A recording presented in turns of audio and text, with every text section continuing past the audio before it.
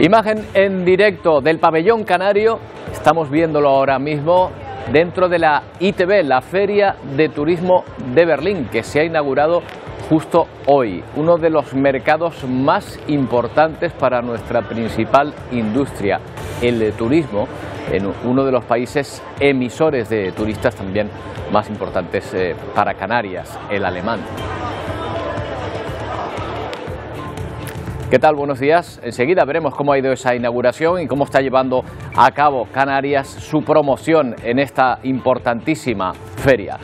Hablaremos también del señalamiento de la oposición contra la presidenta del Congreso que ha obligado a Francina Armengol a responder por las compras de las mascarillas defectuosas realizadas por el gobierno balear cuando ella lo presidía. Su declaración ha mantenido las dudas sobre quién ordenó las compras y quién propuso que se hicieran a la empresa de Coldo García, colaborador entonces del ministro Ábalos. Tampoco aclaró por qué se dio certificado de idoneidad si el producto no era adecuado, ni por qué se derivó el pago a los fondos europeos, pero sí dejó bien claro que no piensa dimitir de su cargo. No dejaré que mancillen mi nombre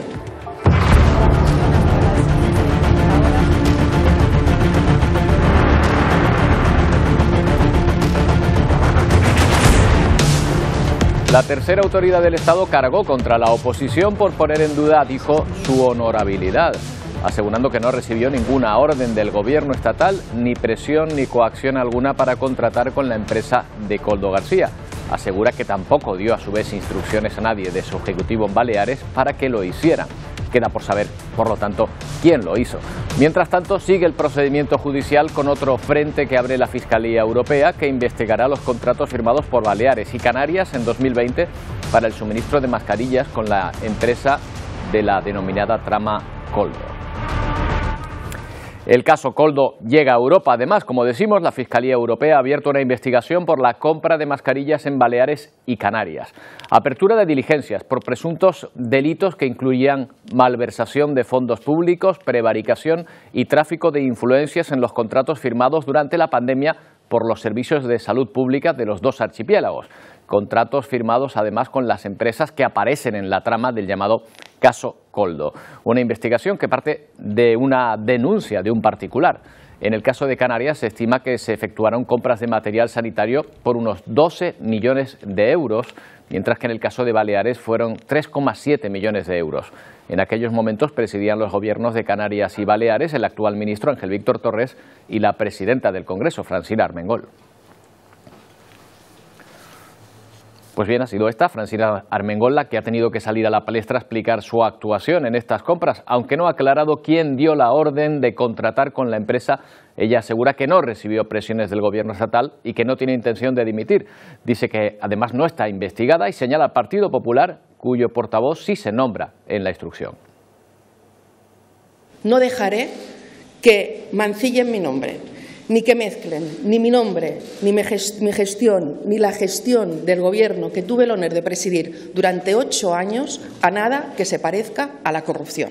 ¿Alguien puede pensar que el Gobierno de Baleares estaba en ninguna trama cuando nosotros lo que hacemos es analizar esa carga? Pues eh, estamos hablando de un órgano, la Fiscalía Europea, que empezó a funcionar el 1 de junio de 2021. Vamos a averiguar un poco más sobre ello. Hablamos con José Vicente Morant, es abogado de Navas y Cusí. ¿Qué tal, José Vicente? Buenos días. Buenos días. Bueno, lo primero que nos gustaría saber es quién es, a quién representa la Fiscalía Europea. A ver, la Fiscalía Europea es una institución de carácter comunitario, ¿vale? Y se crea fundamentalmente teniendo en cuenta mm, cuando se trata de velar por los intereses de, de carácter financiero, fondos, en este caso aplicados por parte de la Unión Europea y destinados precisamente a los distintos Estados miembros. En este caso concretamente, pues estamos hablando del contexto de la pandemia, pues evidentemente la Fiscalía lo que controla es el destino de estos fondos efectivamente que sirvieron precisamente para financiar la compra de los contratos de suministro de las mascarillas. O sea, de entrada solo investiga delitos que atenten contra los intereses financieros de la Unión Europea, ¿no? Efectivamente, hay una, institución comunitaria que colabora estrechamente con las autoridades nacionales de los Estados miembros, pero sobre todo la razón de ser, el motiv de la Fiscalía Europea es velar precisamente porque se protejan los intereses financieros y los fondos que al final, más que de la Unión Europea, son también fondos de los distintos estados, que son los que contribuyen al, presupuesto europeo. En este caso, si interviene en esta investigación es por el pago que se realizó de las mascarillas defectuosas con dinero europeo, precisamente. Sí, porque en el contexto de la pandemia, eh, nos remontamos al año 2020, eh, dentro de la Unión Europea se articularon mecanismos de eh, financiación y subvención de compra de las mascarillas y el Fondo Europeo de Desarrollo Regional precisamente lo que hace es facilita a los estados vía subvención efectivamente el poder el comprar, adquirir de José Vicente, le están, le están llamando a José Vicente justo en este momento. Vamos a esperar un momentito para ver si podemos eh, recuperar la comunicación. Bien, ya ahora sí. Bueno, eh, se inicia la investigación, José Vicente. La cuestión es cómo lo hacen, cómo investigan, a través de juzgados españoles o tienen su propia infraestructura. Sí, sí, no sé. sí yo lo escucho perfectamente. ¿Me escuchan también? Sí, sí, perfectamente. Bueno, le explico entonces. A ver, el, mecanismo de, de, inicio de la fiscalía puede ser perfectamente o bien porque las mismas autoridades nacionales, en el seno de cualquier investigación de curso de carácter nacional, puedan entender efectivamente que están lesionados los intereses particulares, en este caso de la Unión Europea. ¿eh? Entonces, eh, se puede llevar las investigaciones desde, en este caso, una investigación supuestamente nacional y trasladarlo como una investigación europea. ¿vale? Puede haber alguna denuncia directamente de un particular ante la Fiscalía Europea. O sea, los mecanismos no dejan de ser los mismos que puede ocurrir en el, en el seno de, de cualquier Estado miembro, es decir, o bien porque el particular denuncia directamente a la Fiscalía, o bien porque a resultas de investigaciones de naturaleza supuestamente nacional se ve, en este caso, el, trasfondo supranacional y se traslada las denuncias a la Fiscalía Europea, es decir, que ellos reciben efectivamente las denuncias eh, por varias vías. ¿eh? Eh, si finalmente se hallan indicios, ¿a qué tribunal le correspondería juzgar? ¿A qué tribunal derivaría la Fiscalía Europea sus investigaciones? Es curioso porque hay un mecanismo, digamos, híbrido de, digamos, de cooperación. Puede incluso la Fiscalía Europea, primero, la Fiscalía puede concluir que no haya delito y proponga en este caso el archivo. Pero si entiende en este caso que hay causa, causa penal, puede o bien remitir las actuaciones a la jurisdicción nacional, ¿vale? Eh, o bien en este caso eh, puede eh, dirimir también las competencias a nivel, a nivel europeo. Pero lo importante es que en muchas ocasiones este tema se, se deduce directamente a nivel nacional y sin perjuicio de que también hay un control, en este caso jurisdiccional, por parte del Tribunal de Justicia Europea. Pero no crea que se va a crear un, un tribunal ad hoc. Es decir, generalmente suelen ser los más tribunales nacionales los que enjuician obviamente con colaboración, en este caso con la Fiscalía Europea. Y último término, eh, tenemos el Tribunal de Justicia Europea que podía controlar la actuación de la Fiscalía, pero no es que se, se trate de crear tres o cuatro órdenes judiciales diferentes. ¿eh? Es una colaboración estrecha. Entiendo. Eh, al ser eh, una instancia europea, podemos pensar que su investigación puede ir más rápido, a lo mejor que, que, si fuese una investigación puramente en nuestro país o no, o más o menos va a durar lo mismo. Bueno, a ver, las investigaciones se desarrollan teniendo en cuenta los medios personales y materiales con los que cuenten. A ver, ya le digo que la Fiscalía Europea trabaja codo con codo con las fiscalías nacionales porque evidentemente tratan también de evitar la duplicidad, pero claro, eh, si tiene medios, desde luego, y hay ganas de trabajar, pues evidentemente se va a trabajar. Yo no, no me queda menor duda, pero que quiere decir que todo depende evidentemente de los medios con los que cuente y también la ayuda que cuenta a nivel de los distintos Estados miembros, que van a colaborar, evidentemente. Pues José Vicente Morant, abogado experto en procedimientos europeos de Navas y Cusí, muchas gracias por habernos atendido. Buenos días. Un placer. Buenos días. Bueno, ya que estamos hablando de Europa, vamos hasta el corazón del continente, donde además está uno de los mercados más importantes para el turismo canario. En la Feria de Turismo de Berlín está nuestra compañera Alicia Suárez, que ha sido testigo de la inauguración de la feria hace muy pocas horas. Alicia, ¿qué tal? Está cerca además del pabellón de Canarias, ¿verdad? Estamos en pleno corazón de Canarias, en la capital de Alemania, en Berlín. Y fíjate, Roberto, también a todos los espectadores de Atlántico Noticias, estamos hablando de un mercado importante para el archipiélago repetidor que suele visitar con frecuencia Canarias hay que sorprenderlo de alguna manera. Pues en este stand de Canarias están intentando sorprenderlo con esta cata de quesos de gofio, también hay pues esta pella y de vino, una cata comentada en inglés y en alemán. Y hay pues aquí eh, distintos asistentes de esta feria, que recordemos es una feria profesional a la que solo asisten profesionales del sector turístico y que ha comenzado, como dices, hoy aquí en esta capital de Alemania. Ahí están viendo pues a distintos operadores del sector turístico asistiendo a esta cata. La inauguración oficial tenía lugar pues hace aproximadamente y media más o menos y ya está este stand de Canarias de 825 metros cuadrados en plena efervescencia, lleno de reuniones y enseguida van a ver estas imágenes en directo que le está ofreciendo el compañero Samuel Alonso. Ahí tienen los distintos stands con los que las distintas islas, las siete representadas aquí en la ITV de Berlín, van a ofrecer lo mejor del destino. Nosotros vamos a hablar también con la consejera de turismo, con Jessica de León, que ya nos acompaña en este stand de Canarias. Con ella vamos a hablar de esos datos de previsión, porque estamos hablando de un mercado importantísimo. Consejera, muy buenos días. Muy buenos días. Te acabas de tropezar con toda la delegación andaluza y te Una delegación andaluza que tampoco pierde la oportunidad porque hay que establecer contactos en una, feria como esta. Sí, además porque las comunidades tenemos retos comunes, entonces, bueno, ahí veníamos a, siempre aprovechamos que estamos cerca para saludarnos. Consejera, le hablaba de, esas, eh, de esos datos que nos deja 2023. Todavía no nos hemos recuperado, falta un poquito para llegar a las cifras de 2019, prepandemia, pero sí que es cierto que en facturación y ya es en lo que empezamos a medir el retorno turístico, estamos muy por encima, un 21%. ¿Cómo es la previsión para este año?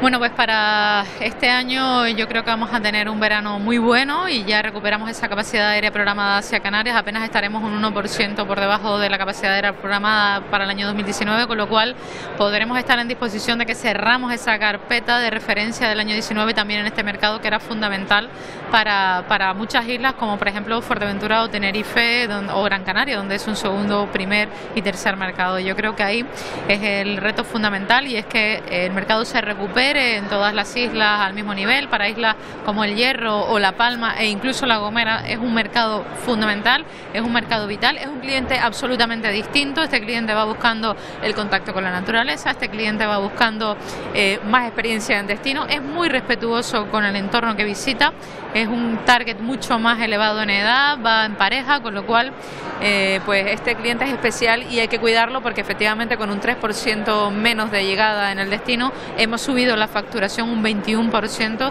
del orden del cierre del 23 de 2.100 millones, pues 368 millones más que en el 22. Consejera, muchísimas gracias por atendernos. Muchísimas gracias a ustedes. Buena feria. Y que sea sobre todo una feria pues fructífera donde se establezcan pues esas, esos contactos. Y ahí vemos. Nos gustaría despedirnos, Roberto, si te parece, con esta imagen de este stand de Canarias, un stand repleto ya no solo de profesionales que están estableciendo esos contactos, como nos decía la consejera, sino también de medios de comunicación que cubren esta feria, sobre todo para recordarnos y avanzarnos qué es lo que nos espera para el sector turístico en Canarias en 2024.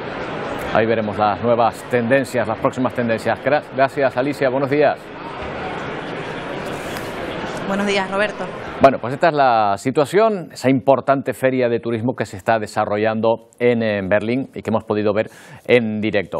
Otra polémica en el seno del eh, gobierno estatal, esta vez parte de la ministra de Trabajo, líder de Sumar, Yolanda Díaz, que considera que no es razonable que haya restaurantes que abran hasta la una de la madrugada califica de locura la diferencia de horarios de España con el resto de Europa.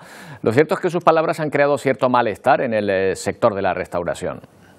No es razonable un país que tiene abiertos sus restaurantes a la una de la madrugada. El otro día, hace diez días, me reunía con todas las patronales del sector turístico y hablábamos de las diferencias con el resto de Europa. Eh, es decir, eh, es una locura pretender casi no que seguir ampliando los horarios. Bueno, vamos a preguntarle a José Luis Isuel, que es presidente de la Asociación Hostelería de España. ¿Qué tal? Buenos días. Buenos días, un placer, como siempre, acompañaros aquí. Gracias por eh, su tiempo, José Luis. Oiga, ¿es, una locura eh, tener un restaurante abierto hasta la una de la mañana? A mí me parece todo lo contrario, me parece una auténtica bondad, ¿no? O sea, el restaurante que está abierto hasta la una de la mañana es porque tiene clientes. Y si tiene clientes es porque le apetece atenderlos, ¿no? Y porque encuentra un espacio horario donde se puede hacer negocio, se puede ganar la vida. Eh, no entiendo exactamente a qué se ha referido. Lo primero hay que decir que mientes con un descaro tremendo, mentir, mentir eh, cuando dice que se ha reunido con todos los subsectores hace diez días, nosotros, que somos el sector más importante el subsector más importante del turismo en cifra de negocios, en volumen de empleo. No hemos tenido ninguna reunión con ella, pero es que he indagado y no conozco ningún presidente de subsector turístico que se haya reunido con ella. Lo primero que hay que decirles es que no se puede mentir con semejante descaro. ¿no? Después, oiga, si un restaurante eh, a ver, los restaurantes han, han, corregido de manera generalizada sus horarios y es de alguna manera se cierra antes, se ajustan antes los horarios de cocina, los horarios de apertura, las horas valle, porque la pandemia si algo, eh, si algo dejó es que probablemente hay que abrir antes, cerrar antes, pero eso es una decisión empresarial y porque haya un restaurante que a la una de la mañana tenga clientes y ofrezca servicio, pues que no hay que rasgarse las vestiduras. Mire, un, un establecimiento que prolonga su oferta, que prolonga sus horarios automáticamente necesita más plantilla, necesita más masa salarial, necesita, eh, genera más negocio, genera más consumos. En fin, en definitiva, todo positivo. O sea, ¿qué más queremos? Que haya pues más, más empleo, más plantilla, más salarios. Es que no entendemos exactamente a qué se refiere. Y luego otra cosa que, no, otra cosa que dice, habla de, parecerse a Europa. O sea, Oiga, si es todo lo contrario. La hostelería de España es envidia del mundo. España es el líder del turismo en el mundo. Toda la hostelería de Europa quiere españolizarse, nos tienen de verdad envidia sana, nos envidian cómo, cómo, cómo tenemos nuestros establecimientos, nuestra comida, nuestras tapas nuestros pinchos. Eh, somos líderes en el mundo de la alta restauración. Oiga, si todo el mundo quiere parecerse a nosotros, nos tenemos que parecer nosotros a quién? A los osos del norte que cierran a las 6 de la tarde porque no hay ni un rayo de luz. nos, envidian, también las condiciones laborales porque quizá ahí era donde iba la crítica de, la ministra, eh, sin saber exactamente, eh, pero podemos intuir que quizá vaya por ahí, por la conciliación, por las condiciones de las personas que están trabajando hasta esa hora.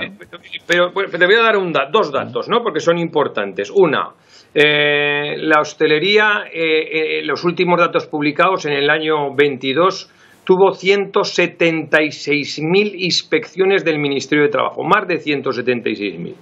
Dos, en el mes de febrero en la hostelería hay 76.000 empleos más que el año pasado. Este año pasado se batió récord absoluto, en torno a 100.000 empleos más que la mayor cifra conocida. En 20 años hemos duplicado el empleo. Y ahora digo, nosotros que estamos en pleno empleo, duplicando el empleo, incorporando entre 40 y 50 mil empleos en los últimos 23 años de manera continua. En el año 2000 teníamos 900 mil empleos, en el año 2020 1.800.000. Eh, llegamos casi a 2 millones este año pasado y este año vamos a estar, yo creo que muy, muy, muy, muy cerca. En toda Europa se tienen grandes dificultades para incorporar gente a la hostelería, pero muchísimas más que nosotros. España de verdad. Somos envidia también en eso. O sea, aquí se nos señala, se nos, se nos eh, de alguna manera se nos pone la vista y resulta que, que, a ver, que, oiga, en Alemania también pagan mal, también incumplen, pues mire, tienen muchísimas más dificultades que nosotros para encontrar gente. A nosotros nos cuesta, y, sí que nos cuesta porque necesitaríamos 100.000 más para cubrir todo lo que estamos ofreciendo, ¿no? Pero resulta que no debemos ser tan malos cuando la gente sigue incorporándose de manera continua entre 40 y 50.000 empleos, ¿no? Por último. Entonces, claro. Eh, entonces, claro, se habla, se habla de las condiciones. Oiga, nosotros pagamos por encima de muchos convenios, pero que de los otros convenios no se habla, pero muy por encima de los muchos convenios. Es verdad que nos cuesta incorporar, oiga, porque es difícil conciliar con la familia, trabajamos los sábados, los domingos, a turno partido en la restauración. Eh, por, último, y, no nos queda mucho tiempo, eh, en, un minuto, pero estas palabras de la ministra responden quizá a alguna iniciativa que ustedes crean que van a tomar desde el Ministerio, porque creo que los horarios por ahora dependen normalmente de, los municipios, ¿no? A nivel eh, autonómico y municipal son los que deciden, ¿no? ¿Cree usted que, va a tomar cartas en el asunto el Ministerio sobre esto? Los horarios de la hostelería dependen de los municipios y en algún caso de las comunidades autónomas. Que ellos no es competente. Ella tiene suficiente trabajo en el Ministerio para arreglar los miles de problemas. Oiga, en un país con dos millones de parados y que haya un montón de sectores que no encuentren gente para cubrir sus bancantes y no somos nosotros que somos los señalados, pero es que tampoco tiene, encuentra la industria, la, la, eh, la, construcción, el comercio, o sea, en todos los sitios en un, en un país con dos millones. Que no haya ningún incentivo a la movilidad, que no haya ni una oficina de empleo. Es mentira, tiene que cambiar todos los carteles de las oficinas de empleo y poner oficinas de desempleo. No hay ninguna oficina que trabaje para conseguir trabajo a la gente que está parada. A ver, tenemos un problema serio, serio, y le meten mano en sus funciones, que no se metan los horarios que no son sus funciones, que no le corresponde a ella. Ella no le corresponde hablar de los horarios, le corresponde a los municipios. ¿Y qué tiene que ver además? Imagínese en Andalucía, con el clima de Andalucía, en el mes de agosto, con 45 grados, que a la una estuviera todo cerrado. Bueno, eso no se lo cree nadie, vamos. Pues Por lo tanto, en fin, yo creo que ha metido la pata ha mentido como de verdad que ha mentido descaradamente y hay que decirlo, oiga, miente descaradamente y bueno, pues espero que la, que la saque, que hoy ha intentado ya sacarla y, nosotros pues siempre con la mano tendida para cuando quiera se lo explicamos en su ministerio, en su despacho, no para hablar con no tenemos tiempo para más, pero le, agradezco que nos haya aclarado la posición de, su organización respecto a estas palabras de, la ministra, la patronal Hostelería de España. Gracias por habernos atendido. Buenos días. Buenos días, un abrazo.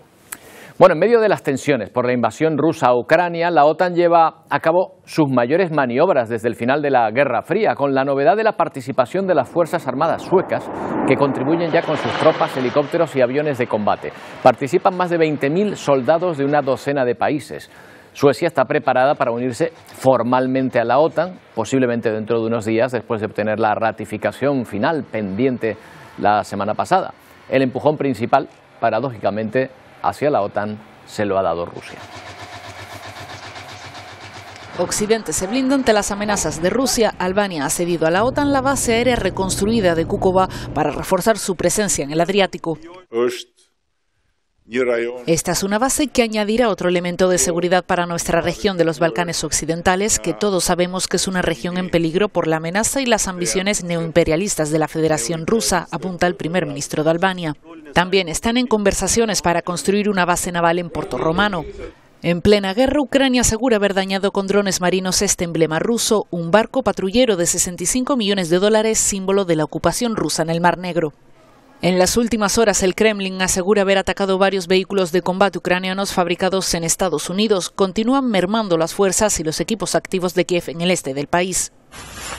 En Odessa, los bomberos siguen sofocando las últimas llamas en un bloque de apartamentos tras el ataque con un dron ruso. Cuando mis hijos que sirven en el ejército tengan permiso para regresar a casa, no habrá lugar para que se queden, dice esta residente.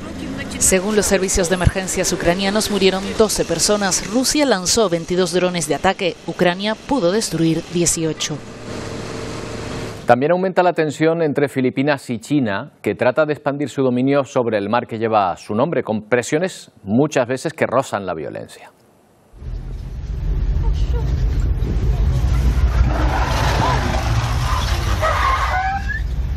O con maniobras tan agresivas como esta, donde la Guardia Costera China casi provoca la colisión con un buque filipino. En otra operación ahí lo ven, dos barcos chinos usan cañones de agua contra un buque filipino ocasionando daños leves entre su tripulación, pero con peligro de hundir el barco. Incluso el gigante chino acusa a su país vecino de haber invadido aguas que reclama para su soberanía, igual que otras cercanas a Vietnam, Malasia, Brunei e Indonesia, que también consideran exclusivas. La Corte Permanente de Arbitraje ha dictaminado que las reclamaciones de China no tienen base legal. Sin embargo, ya ven que hacen valer su poderío militar y naval en la zona.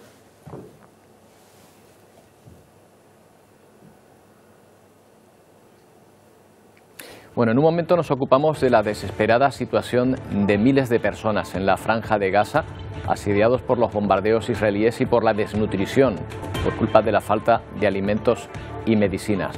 Una situación que está socavando los apoyos de Israel, incluso entre sus propios aliados. Les advertimos de antemano que las imágenes de esa situación son terriblemente duras.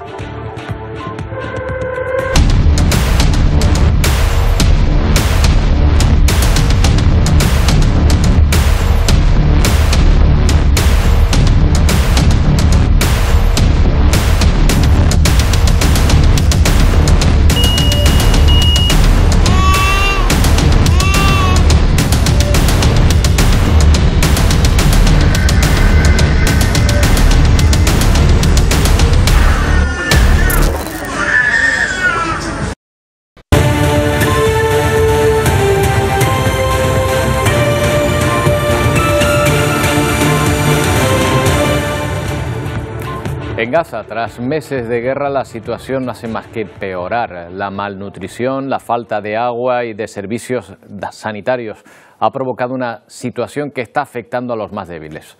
A niños, a mujeres, lactantes, un 15 por 6, 15,6% de los menores de dos años están ya padeciendo síntomas de desnutrición. Estados Unidos y la ONU alertan de esta realidad y urgen a las partes a alcanzar un acuerdo cuanto antes. Estados Unidos quiere un alto el fuego en Gaza antes de que empiece el Ramadán el próximo domingo. Pero en la negociación hay una silla vacía. Israel afirma que no se sentará a la mesa si jamás no facilita los datos sobre los rehenes vivos. Desde Washington doblan la presión sobre Netanyahu. Su vicepresidenta Kamala Harris se ha reunido este lunes con Benny Gantz rival del primer ministro, para trasladarle su profunda preocupación por la situación en la franja. Mientras, la guerra continúa. Los combates siguen y la ayuda humanitaria escasea. Los pocos alimentos que llegan a la franja lo hacen desde el aire. Bélgica ha sido el último país en sumarse a la entrega de ayuda aérea. En tierra, muchos niños están muriendo de hambre en los hospitales. La mayoría presenta patologías previas. Este médico de la unidad de cuidados intensivos cuenta que cada vez hay más madres que no pueden amamantar a sus bebés. Naciones Unidas ya ha alertado al mundo de esta crisis. Los representantes palestinos reclaman a la ONU un mayor esfuerzo. Para poner fin, dicen, a la guerra. Israel, por su parte, UNRWA employees are military operatives in terror groups in Gaza. Ha vuelto a acusar de terrorismo a 450 trabajadores de la UNRWA. La agencia denuncia que muchos han sufrido torturas por parte del ejército hebreo. Vamos a hablar con Merced Rocaspana, es coordinadora de emergencias de Médicos Sin Fronteras. ¿Qué tal, Merced? Buenos días. Buenos días. Bueno, las imágenes que nos están llegando eh, son terribles porque ya además eh, muestran a niños, niños desnutridos. Eh, ¿Se puede decir que hay niños que están muriendo ya de hambre en Gaza? ¿Esto es así? Bueno, estos son datos que dan las Naciones Unidas. Eh, nosotros personalmente no hemos visto todavía estos casos. Nosotros estamos operando en el, en el, sur de Gaza, en el gobernador de Rafah, y las informaciones más terribles al respecto vienen de zonas del norte donde todavía nosotros no tenemos acceso y donde hay muy muy poco acceso y las informaciones llegan con cuentagotas. Claro, porque nosotros lo que sí que vemos Sí, dime, Mercedes, perdona. No, nosotros lo que sí vemos son casos de malnutrición, estamos viendo mm. en el sur, casos de malnutrición em, que, que están aumentando más o menos detectamos entre uno y dos niños cada día en nuestros centros de salud en un lugar donde este problema antes no existía. Y estamos haciendo el tratamiento de estos niños de forma ambulatoria. Claro, Merced, porque si el problema es eh, enorme en el sur, eh, en la zona norte, eh, donde los bombardeos continúan indiscriminadamente y donde se está desplazando a la mayoría de la población civil, ahí todavía puede ser mucho peor, ¿no? Claro, nosotros, la verdad es que ahora en este momento no, no tenemos eh, acceso a las zonas de, del norte. por ello es lo que pedimos eh, un alto al fuego que sea inmediato y que tenga garantías de continuidad para poder hacer llegar em, ayuda humanitaria en estas zonas donde ahora hay un acceso muy limitado y donde em, todavía siguen viviendo un gran número de personas. Claro, eh, la entrada de suministros por tierra está totalmente interrumpida. No, la entrada de suministros eh, continúa, tiene sus dificultades, pero se entran los suministros. podemos nosotros podemos entrar medicamentos y también los alimentos terapéuticos, que son alimentos especiales para tratar a los niños con malnutrición, por ejemplo. y, nosotros podemos entrar a los medicamentos y otras organizaciones también. Lo que pasa es que el mecanismo es muy lento, la puerta solo es una y, hay que seguir toda una serie de procedimientos que llevan un tiempo y es, hace que digamos, el, el, embudo sea muy estrecho. Entonces entra ayuda, pero no es la suficiente. Claro, y el sistema de reparto después eh, es muy problemático, lo hemos visto en, en, algunas, en algunas ocasiones. Después no solo es que entre, sino después poder repartirlo. Sí, bueno, cada organización tiene su sistema, ¿no? Hay cosas que entran directamente, hay organizaciones pues que, que lo donan a otras organizaciones, lo donan a, a, la comunidad o nosotros manejamos nuestros propios recursos y en principio nosotros controlamos todo el, el eh, desde que pasa la frontera tenemos control de cómo se mueven estos camiones, cómo llega a nuestro almacén y luego después cómo estos medicamentos llegan a nuestros centros de salud y al hospital y ahí es donde damos la atención a los, a los pacientes. ¿no? Digamos, digamos, intentamos tener un control de toda esa cadena de suministro para que no tengamos problemas. Mercedes, según eh, su experiencia, ¿ha disminuido la presión de Israel sobre los hospitales donde se estaban atendiendo a muchas, a muchas personas? Bueno, claro, es que son zonas. Eh, eh, Israel va avanzando por zonas, ¿no? Entonces nosotros desde hace ya un tiempo estamos eh, centrados sobre todo en la parte de Rafa y, bueno, sí van pasando cosas, ¿no? Esta, esta misma semana, creo que fue a final de la semana pasada, hubo una explosión a las puertas del hospital donde nosotros estamos apoyando a la maternidad. Y fue una explosión, digamos, fuera, ¿no? en la calle, en la puerta del hospital, pero claro, esto eh, produce mucho temor a las personas que utilizan ese hospital y, también al personal, ¿no? Para que se pueda operar de forma normal. Así que sí, la gente vive con, mucho temor eh, todos los días. ¿Están ustedes desplazando eh, personal sanitario desde fuera de, la franja o, están trabajando con personas de allí? Tenemos personal internacional y, tenemos personal eh, nacional, sí, ambos están haciendo ahora. Me imagino que en las situaciones más, eh, más, más difíciles, pues eh, muchas gracias por habernos atendido y traslade nuestro agradecimiento a todas las personas que están echando una mano y se la están jugando, se están jugando la vida literalmente por, por hacerlo. Muchas gracias, Merced. Muchas gracias. Hasta luego. Bueno, esta es la situación escalofriante ahora mismo en algunas zonas de Gaza. Pero nos vamos a hablar de política en otro punto del planeta, en Estados Unidos, porque hoy es Supermartes, la jornada de primarias en la que votan la mayoría de los estados. Está en juego más de un tercio de los delegados, incluidos los de los territorios más poblados. Es una cita electoral Trump, de clave a la que llega Trump y Biden con el liderazgo de sus partidos prácticamente intactos. 15 estados y otro territorio estadounidense participan en las primarias del Supermartes, una jornada electoral clave en la que se elige más de un tercio de los delegados. We know the political climate in our country is tense.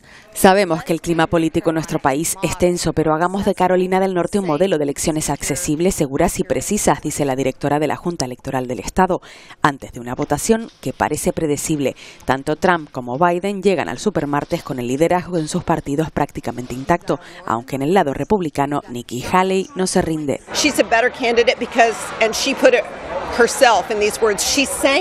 Es una mejor candidata porque, lo dijo ella misma, está cuerda, dice esta votante republicana. Demuestra que el Partido Republicano todavía tiene algo respetable que presentar, dice este otro simpatizante. Pero a Trump el Supremo le ha allanado el camino electoral, ha rechazado su expulsión de las primarias en Colorado y ha impedido a otros estados descalificar su candidatura por su presunta participación en el asalto al Capitolio. Gran victoria para América, decía en sus redes sociales para celebrarlo. Biden, sin embargo, encuentra su principal escollo en el movimiento de los no comprometidos, que piden un voto de protesta contra el asedio de Israel a Gaza. Biden con 81 años y Trump con 77 tienen todas las papeletas para ganar estas primarias. Previsiblemente serán los candidatos a unas elecciones presidenciales en las que votarán 41 millones de jóvenes, uno de los grupos demográficos más importantes en las urnas. Bueno, en Argentina Javier Milei ha cerrado la mayor agencia estatal de noticias de América Latina. La plantilla de Telam se ha concentrado a las puertas de la agencia para protestar tras encontrarla cerrada y con agentes que impedían su entrada. Aseguran que les prohíben trabajar después de que Milei acusara a esta agencia de transmitir propaganda de la oposición. El personal insiste en que se trata de un ataque a la libertad de prensa. La situación ha empeorado muchísimo en Haití desde la semana pasada cuando varias bandas armadas salieron a la calle de manera violenta. Nos da todos los detalles de la situación desde este país, Mark Gerson. 12 de marzo del 2024, alrededor de las 8 de la noche, pandilleros con armas pesadas atacaron en Ballerón el principal centro penitenciario de la capital. Entre los presos que permanecieron en sus celdas estaban los colombianos involucrados en el manicero del presidente Jovenel Moïse, que lanzaron un SOS a las autoridades pidiendo protección. Horas después, los colombianos salieron de su silencio argumentando que ellos vinieron con la promesa de un contrato y que son inocentes en el crimen. Las autoridades también anunciaron un toque de queda con el propósito de reducir los actos de violencia y retomar el control de la situación. Y es que los delincuentes que mantienen el control de buena parte del país advirtieron que su próximo objetivo es el Palacio Nacional. Son los intensos intercambios de disparos entre la policía haitiana y las bandas armadas. El segundo día de estado de emergencia y toque de queda en Haití ha vuelto a desatar la violencia en las calles. En un intento por retomar el control, el ejército ha desplegado sus tropas en el aeropuerto de Puerto Príncipe, la capital. Las bandas controlan buena parte del país desde hace meses y en los últimos días han asaltado dos cárceles y han liberado a más de 3.600 presos. Este es Jimmy Cheriche, más conocido como Barbecue, uno de los líderes más populares de estas bandas que ha iniciado un ataque coordinado para derrocar al primer ministro del país, al que amenaza con una revolución armada. En Río ocupa el poder desde el asesinato del presidente Moïse en 2021 sin convocar elecciones. Las bandas quieren acabar con el gobierno y lograr el control total de las instituciones. En paralelo a los combates, cientos de personas han abandonado sus casas temerosas de que las balas los alcancen. Salieron con lo opuesto y muchas han encontrado refugio en este campamento de Puerto Príncipe. Cuentan que las bandas los obligaron a irse y que ahora duermen hacinados y con miedo. Los hay que intentan cruzar a la vecina República Dominicana. Su presidente advierte. Nunca vamos a aceptar campos de refugiados en el país. Eso está fuera de ningún cuestionamiento y no creo que la ONU lo pida. El portavoz del Departamento de Estado de Estados Unidos también ha reconocido que su país está monitoreando de cerca la situación en Haití. Bueno, ¿y quién va a llevar a cabo el control policial en Haití? Pues Kenia. esa firma era el acuerdo de los gobiernos haitiano y keniata, por el cual la policía del país africano será quien ponga orden en las eh, calles de la isla caribeña. El plan prevé que Nairobi envíe mil agentes a Haití en una misión que está aprobada por la ONU, pero la justicia de la propia Haití ha puesto objeciones que los gobiernos esperan salvar. Bueno, enseguida llega Ponte al Día. Pedro Machín, Wendy Fuentes, ¿qué tenemos para hoy? Cuénteme. ¿Qué tal? Muy buenos días, Roberto. Pues enseguida vamos a comenzar eh, Ponte al Día y hoy lo vamos a hacer desde el sur de la isla de Gran Canaria, en concreto desde las dunas de Maspalomas. Van a ver las imágenes, las fuertes rachas de viento de los últimos días han provocado que gran cantidad de arena, toneladas, invada el paseo marítimo, incluso se ha colado en complejos turísticos y también en viviendas. Vamos a estar allí en directo. También vamos a seguir hablándoles de la falta de agua, es una de las principales preocupaciones de nuestro archipiélago tras las medidas anunciadas por el Cabildo de Tenerife y las restricciones de agua de algunos municipios como Fasnia, también se suma Arico. Vamos a estar allí para conocer de primera mano cuáles son las principales consecuencias de estas restricciones de agua. Y otra preocupación más, o al menos debería de serlo, la cantidad de atentados medioambientales en Canarias y también contra nuestro patrimonio. El último caso, ahí están viendo las imágenes, ha sido en Tenerife, lo denuncia una cuenta en redes eh, sociales, vestigios aborígenes que han sido eliminados a golpe de martillo. Es un ejemplo más de todos los que hemos recopilado y que les mostraremos en Ponte al Día hoy. Y el paro descendió ligeramente en 0,88%. La cifra de parados en Canarias se sitúa en 170.000 eh, personas, 170.000 desempleados. Y los cursos de formación denuncian que no encuentran alumnos desempleados para poder dar esa formación, lo que les obliga a devolver todo el dinero destinado. Hablamos de unos 60 millones de euros. Esto van a ser uno de los temas que trataremos en nuestro Ponte al Día de hoy, pero como siempre, pendientes a la actualidad y más asuntos en nada. En tan solo unos minutos, hasta ahora. Hasta ahora. Hasta ahora, compañeros. Bueno, ayer les contábamos los graves daños que estaban provocando las fuertes lluvias en Argentina. Emilia, hoy tenemos que hablar de Bolivia. Así es, Roberto. También tenemos que hablar de Bolivia. Muy buenos días. Las consecuencias en el país boliviano en las últimas horas son fatídicas. 43 personas han fallecido a causa de las importantes precipitaciones que han hecho que se desborden los ríos, como este que van a ver enseguida. Se trata del río Aruntaya, situado en La Paz. Ayer mismo la cantidad de agua fue tal que terminó sobrepasando los bordes y el torrente de agua y fango pues acabó también arrasando maquinaria pesada y obligó a los operarios que trabajaban en esa zona en un deslizamiento de tierra a huir del lugar. Ha habido fallecidos, una de esas personas pues también fue encontrada río abajo entre el fango. Más de 30.000 personas han resultado damnificadas por las constantes lluvias e inundaciones que afectan a los nueve departamentos del país. La época de lluvias allí suele iniciarse en noviembre y se extiende hasta marzo con mayor intensidad pues en estos meses, en enero y en febrero. Y en California ha sido la nieve la que ha cambiado el paisaje. Casi dos metros del meteoro blanco ha cubierto Soda Springs, que es un lugar del condado de Nevada, en California. Una fuerte ventisca ha dejado el paisaje completamente, como ven, blanco, incluidos los lagos de Mammoth y las montañas de Sierra Nevada, la Sierra Nevada de allí. Importantes carreteras hacia Nevada han tenido también que ser cerradas y los meteorólogos advierten de ahora el alto riesgo que suponen las avalanchas. Y precisamente hablando de avalanchas, una buena muestra es la que se ha sufrido ya en Europa, en el valle de Aosta, que es una región al noroeste de Italia que limita con Francia y Suiza, ubicada en los Alpes Occidentales. Así ha quedado uno de los túneles de conexión con uno de los pueblos más turísticos, sepultado completamente. Unas 6.000 personas han quedado incomunicadas, mientras las palas excavadoras pues trabajan sin descanso para reconectar esa zona. Y otra muestra de la inestabilidad que hay en la zona es esa precisamente. La última borrasca ha traído una enorme tromba marina que se captaba así en el Golfo de Génova, frente a Ligure, en Italia. Afortunadamente no causó daños porque se disipó a lo largo de la costa sin tocar tierra.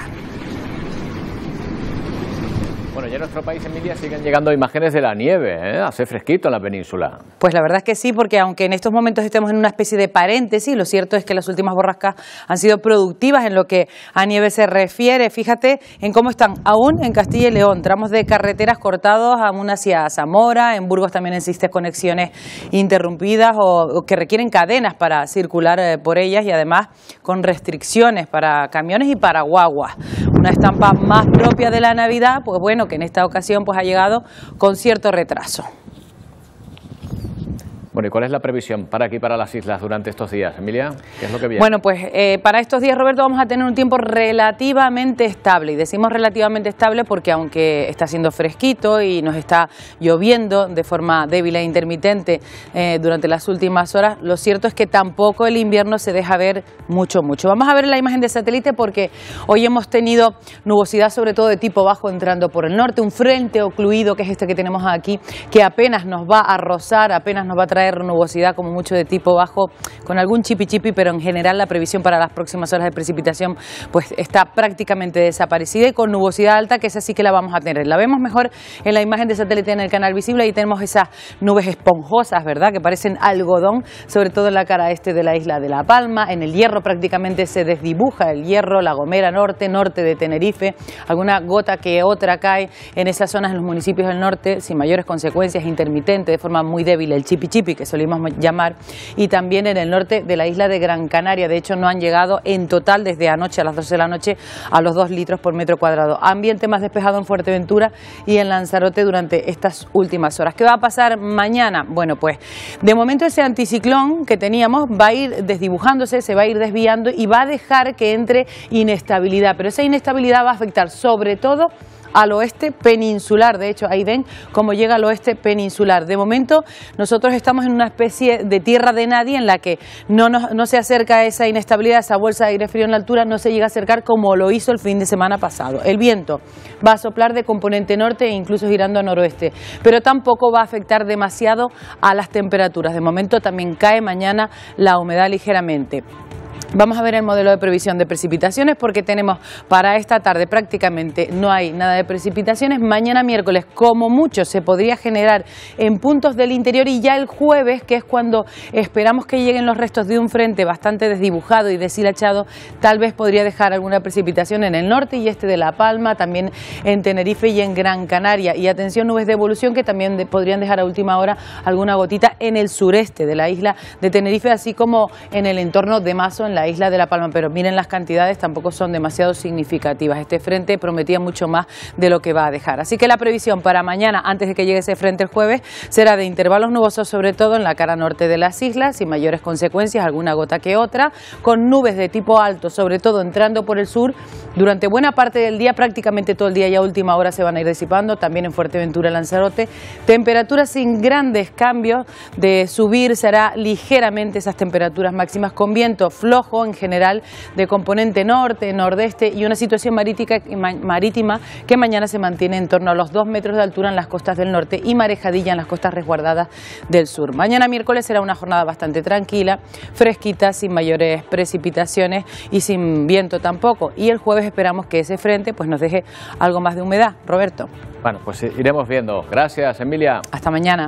Bueno, pues nos vamos a, despedir con la celebración anoche en eh, París de la aprobación de la ley del aborto en la Constitución, la inclusión dentro de la Constitución francesa de este derecho. París era una fiesta ayer, brillaba la Torre Eiffel de esta manera era la celebración de ese acontecimiento histórico. Francia se ha convertido en el único país del mundo que blinda el derecho de aborto en su constitución. Con esas imágenes les dejamos. Volvemos mañana a partir de las 11 en una nueva edición de Atlántico Noticias. Mañana.